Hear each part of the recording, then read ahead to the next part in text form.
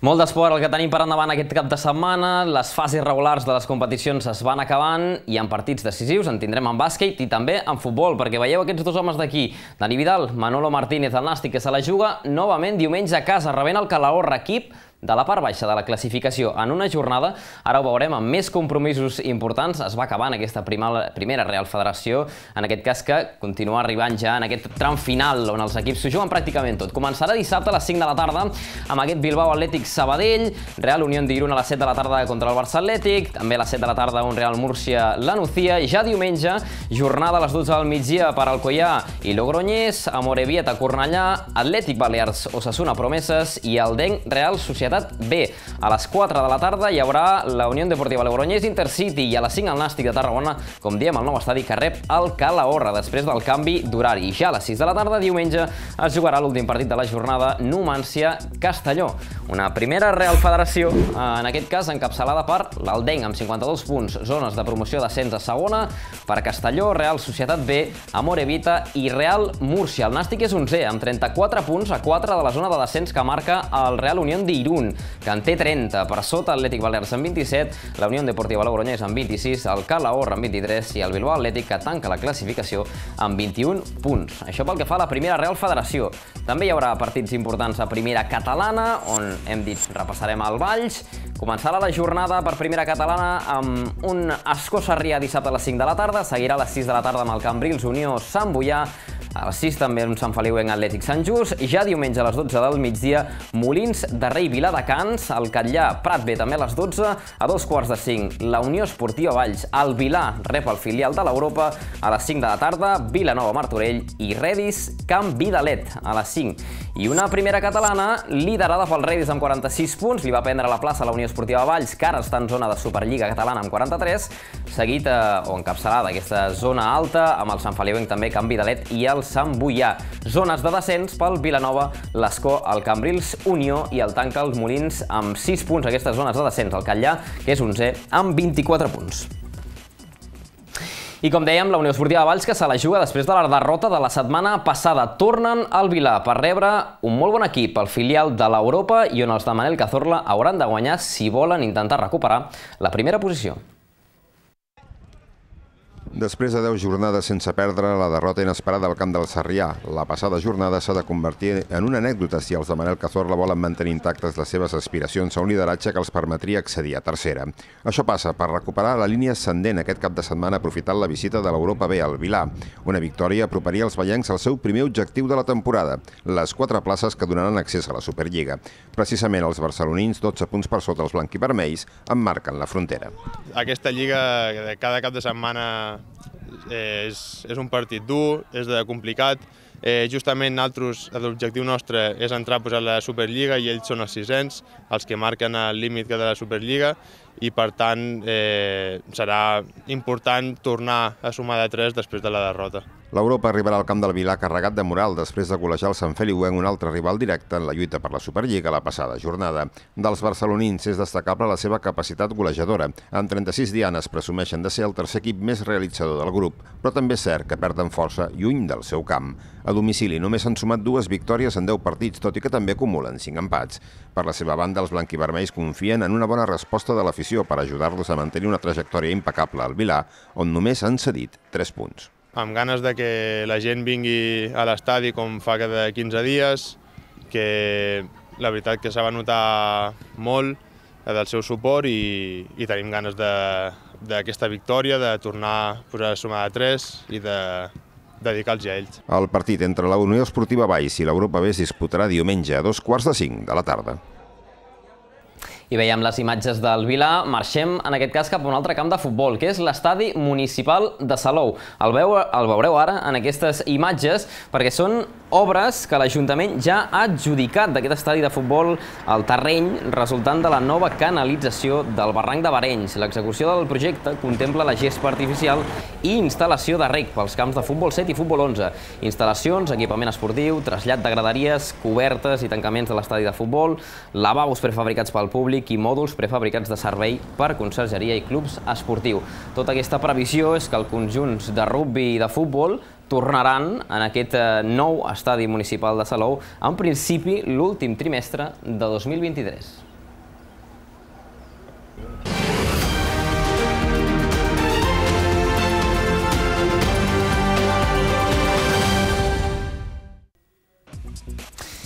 I en aquest cas passem al bàsquet a l'E Plata, més competicions que repassarem, més esport, ho hem dit, tornen aquestes jornades decisives. A l'E Plata Club Bàsquet Salou, que té un partit important, serà diumenge un quart de set de la tarda. En Lliga EVA el CBT rep l'Olivar dissabte a les 7 de la tarda i un Club Bàsquet Valls que visita l'Helios, últim classificat dissabte a les 8 del vespre. En Copa Catalunya Femenina, el TGN Bàsquet serà diumenge a les 7 quan rebi el Safa Claró. Si mirem classificacions, Ale Plat al Prat continua líder, zones d'ascens per Menorca, Sant Antoni, Benicarló, Cornellà, Palma, Cartagena i Gran Canària, zones de play-out pel Club Bàsquet Salou amb aquestes 7 victòries i 15 derrotes, també l'Hospitalet i zones de descens d'aquesta Ale Plata per al Ginet i Mollet. Situació ben diferent. A Lliga EVA, on encapçalen i pràcticament ja tancades Sant Feliuenc i Barça B aquestes places de promoció, el CBT, que s'ha quedat quart amb aquestes 13 victòries, en vol més, el Club Bàsquet Valls també amb aquestes 12, després d'una setmana irregular, i l'Es Castell, que és el que marca el play-out, zones de descens per Esparreguera i Helios.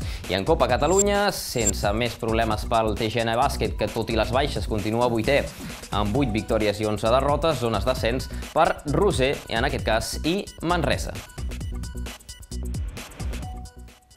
Això era en bàsquet, dius. Volíem fer un apunt abans d'anar a pantalles de bàsquet perquè aquest cap de setmana hi haurà futbol. Sí, sí, atac 12, dissabte a les 4 de la tarda tindrem partit del nivell perquè podreu gaudir en directe de la màxima categoria juvenil estatal, la divisió d'honor, amb el partit entre el Nàstic de Tarragona i el Badalona. Els granes en plena lluita per la permanència, tot i les dificultats que han patit al llarg de la temporada. Han de guanyar, sí o sí, dissabte a les 4, el futur del filial del Nàstic de Tarragona, del Divisió d'Honor, del juvenil, millor dit, també passa per aquí.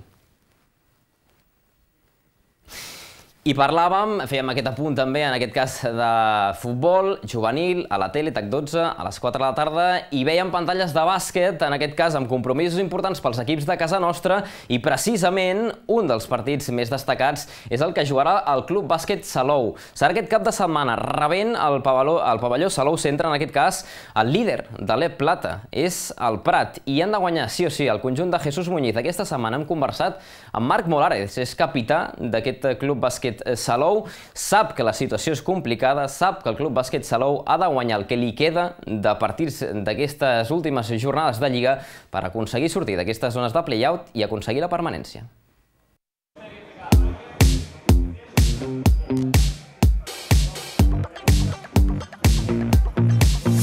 És un repte, ens hem proposat, eh, com bé diu el Jesús, eh, una minilliga de sis partits. Teníem clar que els dos últims partits que teníem aquí a casa era com un match ball eh, de la part baixa, que no vam saber aprofitar i al final això és com caixa o faixa. Ara queden els equips eh, de, la, de la part alta de la categoria i no hi ha excuses que valguin. Res com a tal no hi ha hagut, però sí que fer una mica de, de teràpia, de consciència, de, de fer veure al grup que, que la dinàmica de treball era la correcta, que ens hem de concentrar 100% en el pla de partit que, que estipulem, perquè la categoria al final ho demostra que qualsevol equip pot guanyar de la part alta, part baixa, i si no estàs concentrat els 40 minuts, se te'n pot anar un partit com ja ens han passat eh, amb anterioritat.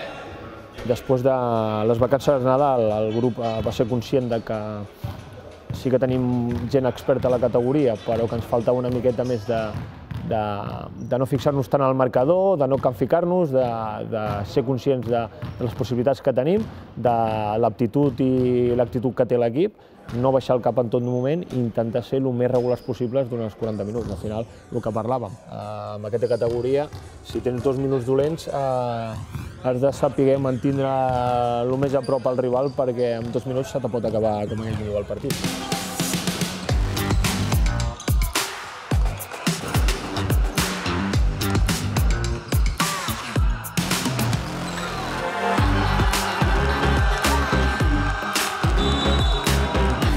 Quedes amb un gust de gradols perquè si saps que ho has competit, eh, saps que ho has tingut allà i el més eh, fotut eh, com a jugador és veure de que no per encert de, de l'equip rival, sinó per desencert nostres, eh, se n'han pogut escapar aquests partits. Però bueno, al final això és esport, pot tocar cara, pot tocar creu, i com a grup hem de continuar treballant i marcar molt bé i seguir amb la, la filosofia de treball.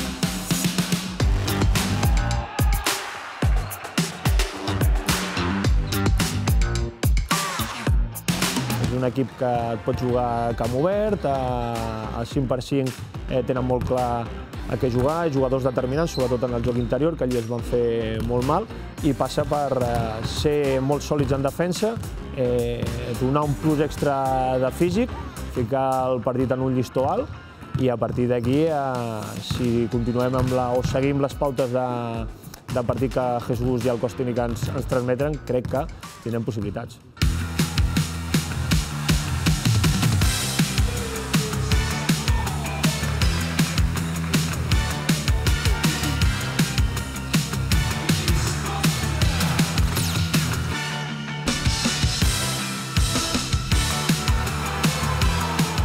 Jugar una miqueta, com bé, com bé dius, amb, amb aquestes dinàmiques, eh, en què els equips ja estan, com aquell que diu, ja una miqueta posicionats a la, a la classificació.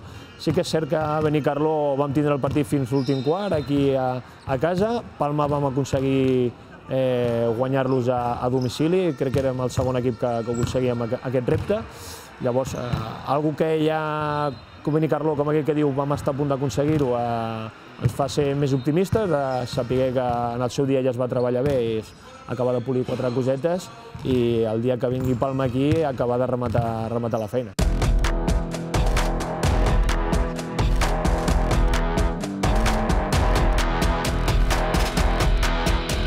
Parlar d'Hospitalet no, a dia d'avui no. Sigui, això és una que tenim molt clar, l'equip, el grup, de que ens hem de centrar setmana a setmana. Aquesta setmana ens toca Prat, no estem pensant en la setmana que ve Benicarló. A dia d'avui eh, estem treballant per, per poder treure aquest partit al cap de setmana i quan comenci a costar la data, o sigui la setmana de, del partit, ja analitzarem en quina situació estan els dos equips i de quina manera podem treure el partit.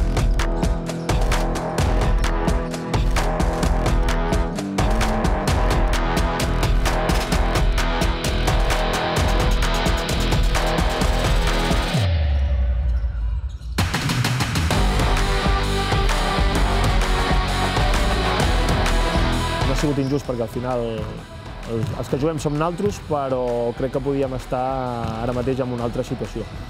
Sí que és veritat que també ens ha penalitzat a partits directes contra rivals directes que no, no els hem pogut treure. Al final aquí tothom juga i aquí, com bé he dit abans, eh, depèn única i exclusivament de naltros. Dir-te que és injust estar a la part baixa, tothom ha fet mèrits per estar on està. A dia d'avui nosaltres estem aquí, és aquesta situació, hem de ser realistes i hem de saber treure aquesta situació davant si hem de ser realistes i hem de ser conscients, eh, crec que la, la nota per la posició que estem crec que hauria de ser insuficient, un 5 pelat, allò entre un 4,8 i un 4,9 perquè encara no tenim la, la categoria salvada. Uh, un cop jo crec, uh, i que estic segur que aconseguirem uh, salvar la categoria, la podríem catalogar com, com exitosa, com un notable alt.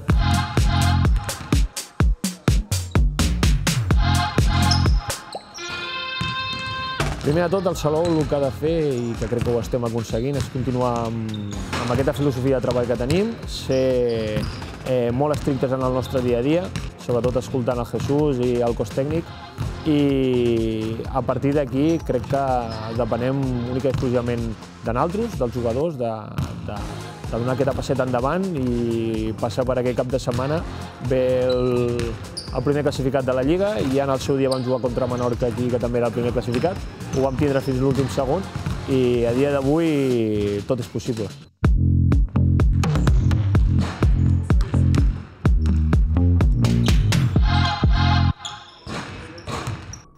Serà un quart de set de la tarda, diumenge aquest partit important. I de Salou al Serrallo, perquè el CBT rep l'Olivar, un rival de la part baixa de la classificació, i un conjunt, el de Berni Álvarez, que sí podrà comptar amb Gerard Estabanell.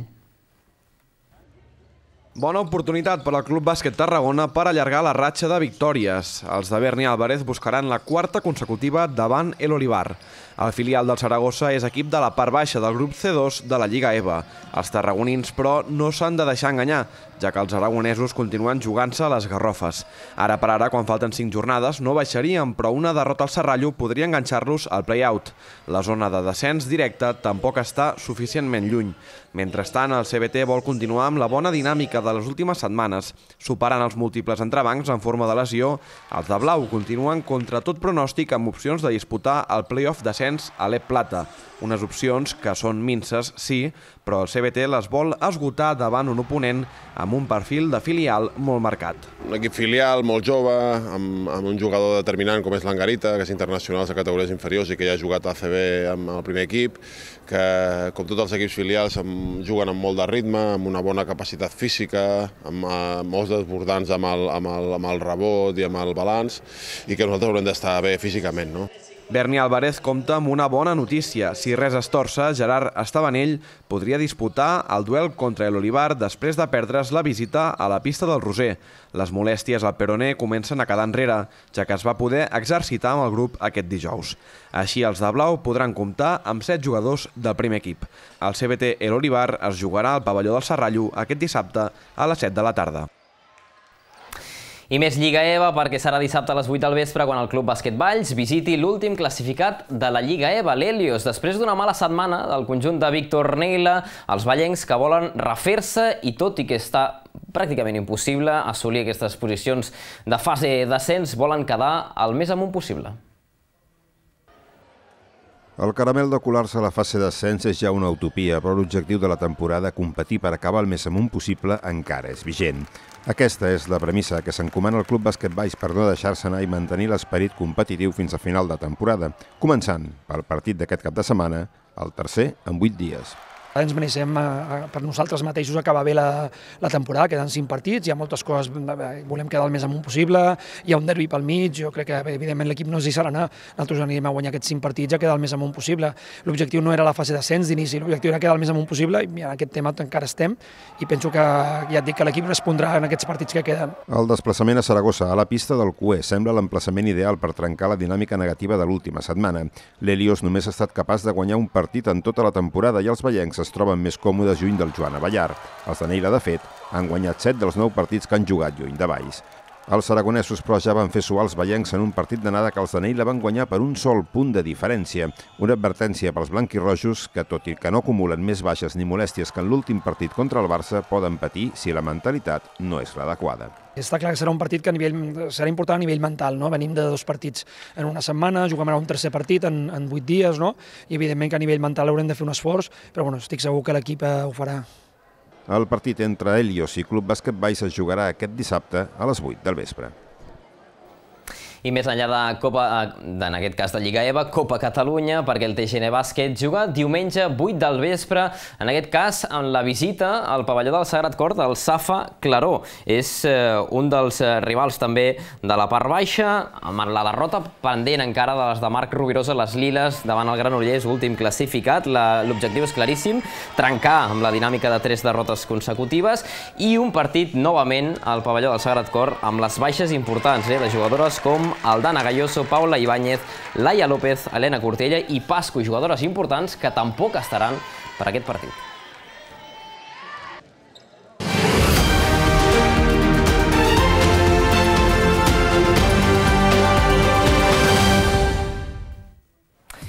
I més informació poliesportiva, més compromisos importants aquest cap de setmana. Si ens fixem en el futbol sala tercera divisió, el Salou visita dissabte dos quarts de set de la tarda a les Corts, líder de la categoria partit vital pels de Manel Hidalgo.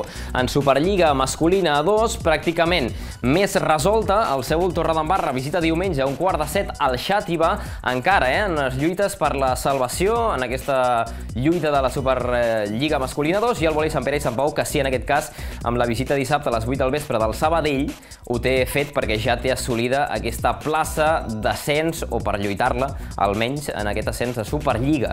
Una classificació de tercera futsal encapçalada per les Corts, que és el rival del Salou, amb 54 punts. Si guanyés el Salou, li retallaria 3 puntets, es quedaria encara 4, el Salou segon. Zones de descens per Molins i Huracans. I en Superliga masculina 2, el Voli Sant Pere i Sant Pau, que ja té, com diem, aquesta plaça fixa descens de Superliga, segon classificat amb 51 punts per sota d'Illa Grau amb 54 i el Seul, desè, amb 17 punts, està un per sobre del Saragossa, que és l'equip que marcaria zones de descens amb el Saire, que pràcticament ja no té cap opció. I com dèiem, un dels partits d'aquest cap de setmana serà dissabte, 8 del vespre, al pavelló municipal de Sant Pere i Sant Pau, en un partit important pels cooperativistes de Vlado Stewowski després de que la setmana passada certifiquessin ja que són un dels equips que jugarà la fase, la promoció d'ascens de Superliga, encara això sí, eh, sense seu. El de dissabte, el partit, més enllà de celebrar amb l'afició una temporada que ha estat brillant dels cooperativistes i agafar energia per una fase d'ascens que de ben segur serà exigent.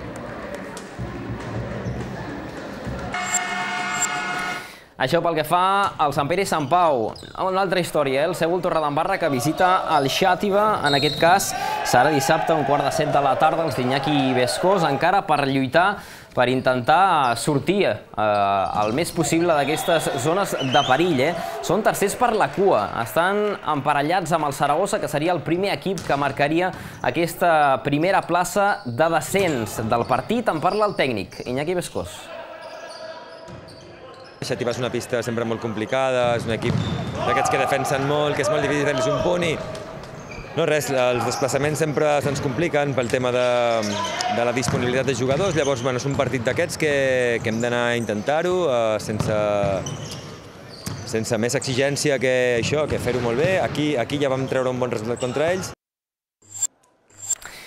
I més esport en futbol sala perquè el Salou té un partit vital. El conjunt de Manera Hidalgo visita el líder, les Corts, en un partit que pot suposar un punt d'inflexió important. Si guanyen, es situaran a 4 punts, distància assumible si el líder de tercera de moment falla en les següents jornades. La dinàmica és immillorable i s'ha de seguir apretant fins al final, fins que quedin opcions d'intentar atrapar el líder de la categoria del partit, el més important, segurament, d'aquest tram final de competició. En parla Manel Hidalgo, que és el tècnic. I intentarem fer el millor partit possible per intentar guanyar, perquè evidentment si, si no puntuem, sí, no, no, si no puntuem, si no, si no guanyem ja serà molt complicat retallar la distància i bueno, ara és el partit que toca, les Corts, i és el que hem de fer, treballar per defensar-los bé, treballar per poder-los fer mal i, i fer l'últim intent, no? perquè de veritat que sí que la distància que tenim ara de 7 punts és moltíssima i, i si a falta de 8-9 partits que quedaran després no l'han retallat com a mínim a 4, doncs jo crec que l'Escors pràcticament ja serà campió. Tot el que doni de si el cap de setmana esportiu us l'explicarem dilluns al Notícies i als Esports. Recordar-vos també que dissabte, a partir de les 4 de la tarda, a TAC 12 es podrà viure l'enfrontament entre el Nàstic de Tarragona i el Badalona, 4 de la tarda, en aquesta juvenil divisió d'honor. No marxeu encara, perquè tenim l'espai de l'entrevista. Avui la nostra convidada és la Rosa Maria Virolès, nascuda a Tarragona, molt vinculada a la ciutat, però resident a Madrid. I és que la mateixa Virolès és la presidenta de la sala quarta del Tribunal Suprem. Amb aquesta entrevista us deixem que tingueu bon cap de setmana.